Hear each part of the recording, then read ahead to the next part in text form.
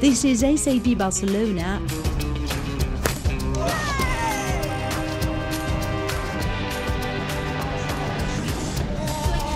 Make sense?